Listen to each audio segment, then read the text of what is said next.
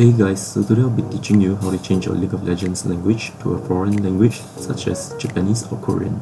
So this will essentially change your client's text and voice packs to Japanese or Korean. Okay, so the first step would be to install the North American version of League of Legends and then you navigate to the folder where you have downloaded it and you find leagueclient.exe and send a, a shortcut to the desktop.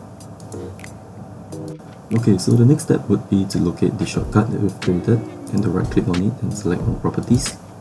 And then in the target, in the target we add the following and we make its attribute to be read only. Okay, so we'll run the shortcut we've created and it will run our um, League of Legends North American client in Korean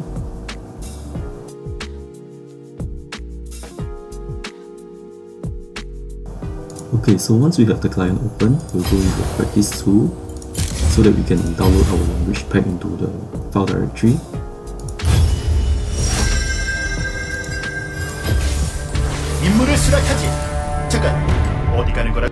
Okay, so as you can see, we have loaded the client in Korean, and now we can safely exit the game. Our next step would be to open the League of Legends North American client folder location and copy the following folders.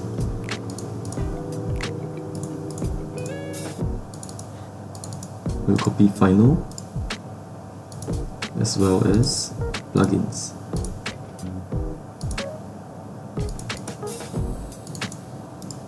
So it is important not to press replace and we'll just press skip on the files that are already existing in the Garena folder.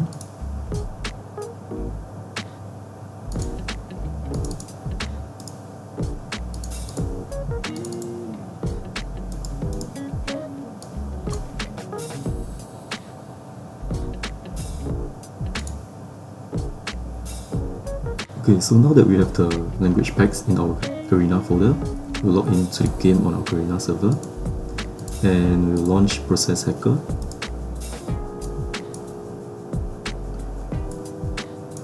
So we have to look out for the Riot icon, Riot Client Services, and right click on Properties and we'll press the magnifying glass on the command line and we'll press copy on this whole wall of text here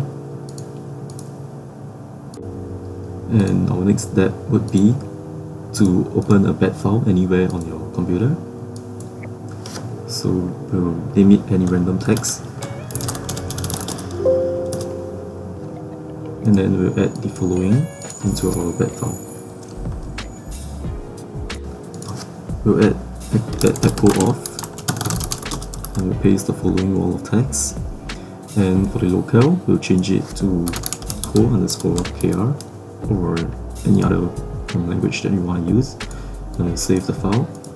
And we'll close our Garena client and then we'll launch the bat file. You may have to launch it several times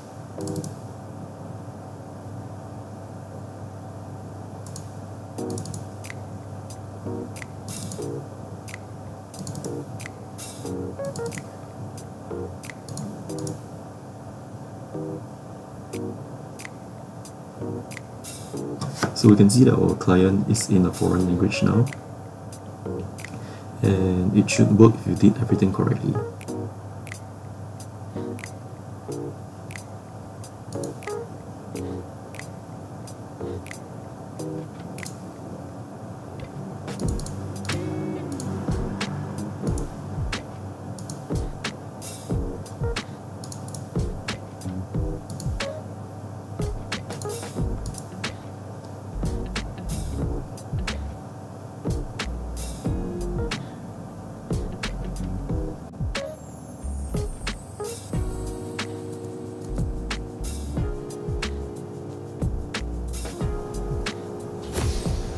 Okay, so there we have it.